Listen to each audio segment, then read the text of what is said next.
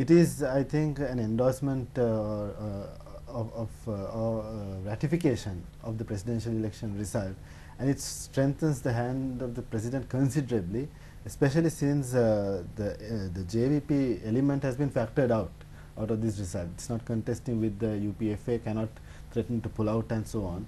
So that that is the most significant thing that we have to say about it. Strengthens the hand of the president and uh, gives political stability. That that we have achieved uh, as a, as a nation. That that is what seems to have come out.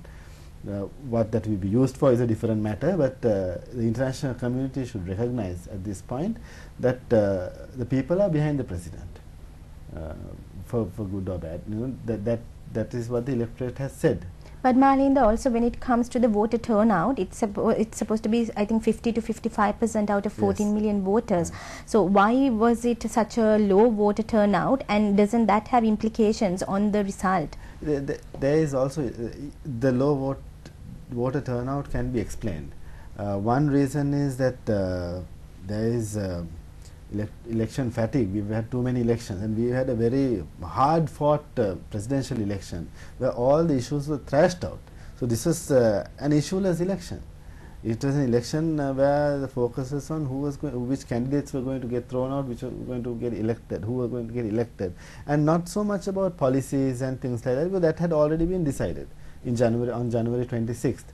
And uh, there was also on the part of the opposition demoralization, natural demoralization, and uh, so the we saw this in 1989 after the presidential election. When you have the general election, uh, the there was less enthusiasm on the part of the opposition.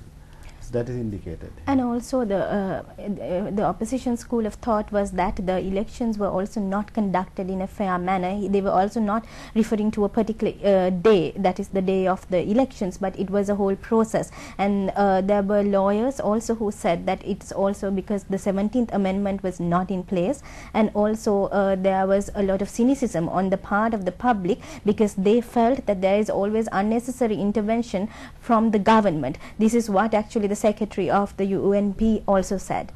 Well, uh, the 17th, I mean, I think Rohan Edrisinha said this, Exactly. uh, and uh, this is partly true that uh, you know, we don't have a perfect uh, system of electing people. We don't have perfect elections.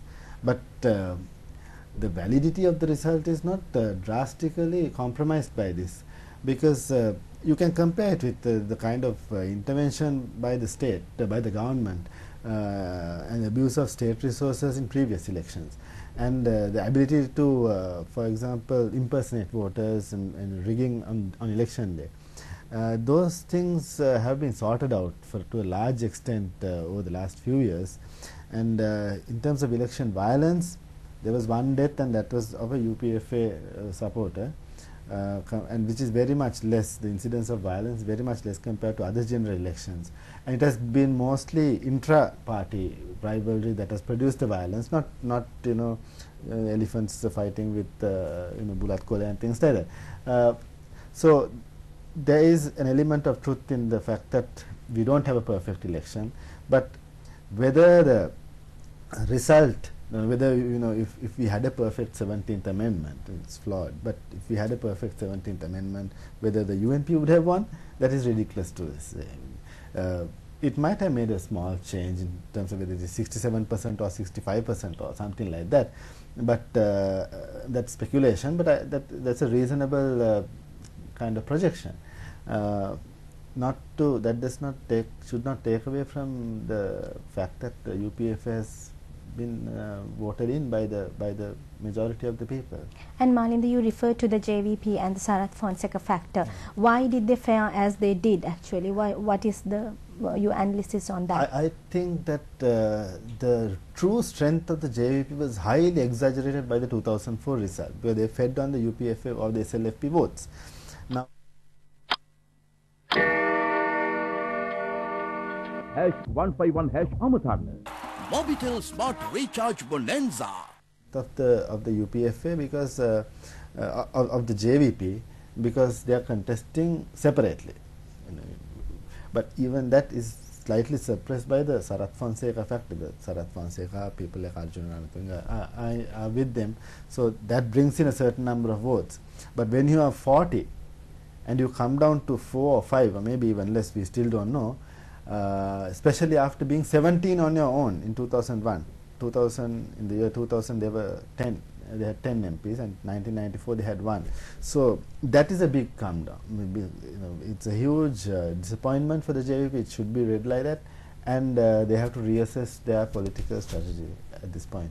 And also when you look at the presidential election in January and the results that we got, it's the same trend that we are following now. And also if you look at the 2004 presidential election, do you want to do a comparison between the yes, Yes, two uh, 2005 presidential, uh, 2004 for parliamentary election. yeah, pa- now, now, parliamentary yeah, election. now Jan- between January and now we have seen the natural uh, you know swing towards the victor that is there.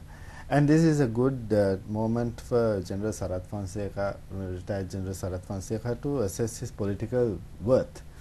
Uh, he got 40% of the vote uh, in January, but now with the JVP, they are getting consistently about between 3 to 7% of, of the vote from each electorate that we see, the results that have come out. So he has to understand that people voted with the fac- with the UNP, not necessarily for him, but because the UNP backed him. And you take that out, and that's the true worth of Sarath Fonseca with the JVP, without the UNP. So that will give an indication of the true support he has and the true strength he has. Uh, in terms of the 2004 election, well, uh, as I said earlier, that was a larger coalition in the sense that the JVP was part of the UPF. This time the JVP is without.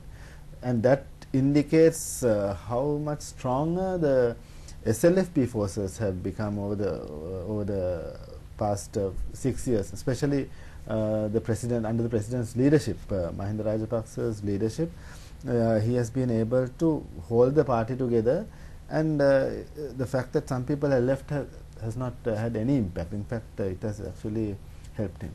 And also the before the elections, the government was also asking for the two-third.